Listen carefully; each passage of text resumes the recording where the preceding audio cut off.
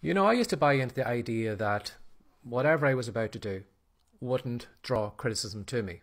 Because I feel, in my eyes, I'm a good person. I'm a nice person. I'm trying to make a difference in the world. I'm hopefully trying to push you out of your comfort zone and make you take some action. And because I feel that I'm doing something right, why would anyone criticize me?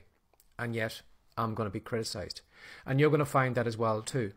And I want you to remember this quote by Albert J. Dunlap. And the quote was Criticism is the price for success. If you don't do anything today, say you don't do your videos, you don't write your book, you don't record your podcast or create any content, there's nothing there that anyone can criticize you on. But when you take action, when you start making the videos, when you start doing the podcast, when you start writing books, when you start putting stuff out there, you're going to find the critics will come for you. They're going to come for you, and you need to be prepared that they will come for you, that you're not going to be the only one in the world who is going to get away scot free.